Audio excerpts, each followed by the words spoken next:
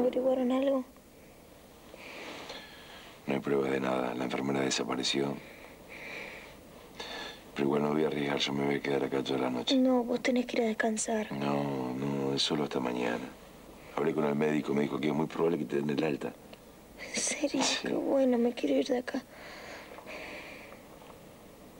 Yo te prometo, sí, sí, que el que armó esto va a ir a parar a la cárcel. No me sorprendería que haya sido mi padre o, o Bernardo. Ellos quieren vengarse de mí. Pero hasta que eso pase, yo te voy a poner una custodia policial. No. Eh, Sí, una no, custodia policial. No, no, me, quiero que no, me, no me gusta. Me voy a sentir una presa, no quiero.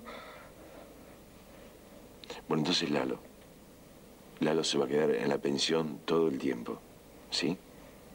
Porque si me quieren a mí, que me vengan a buscar.